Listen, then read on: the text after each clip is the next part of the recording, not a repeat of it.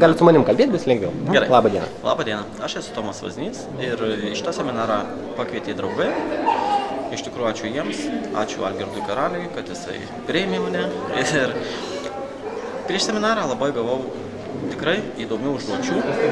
Užduotis man padėjo pasirengti seminarui ir nu, įgavau kitą supratimą, kas tai yra tas seminaras Greiti pinigai.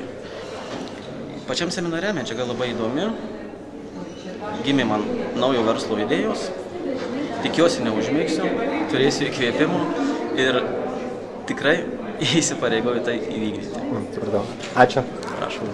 Įsivėdė tada pat.